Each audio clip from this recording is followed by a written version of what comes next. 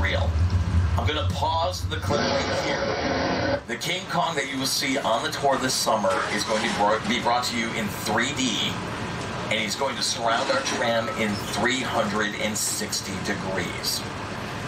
I gotta tell you guys, for the last three months we've been playing this clip on the tour, I didn't get to go inside Soundstage 50. I had no idea what it was gonna be like, so I tried to make it sound as cool as I could make it. I didn't come close to how cool this is. I got to visit Soundstage 50 on the inside Wednesday. And guys, I will tell you, I have never experienced anything like what you guys are going to be experiencing on July 1st. Okay, not only is King Kong going to surround us, not only is he going to be in 3D, but it's going to feel like you are rocketing through Skull Island, and I mean rocketing. This thing is just intense. It really is.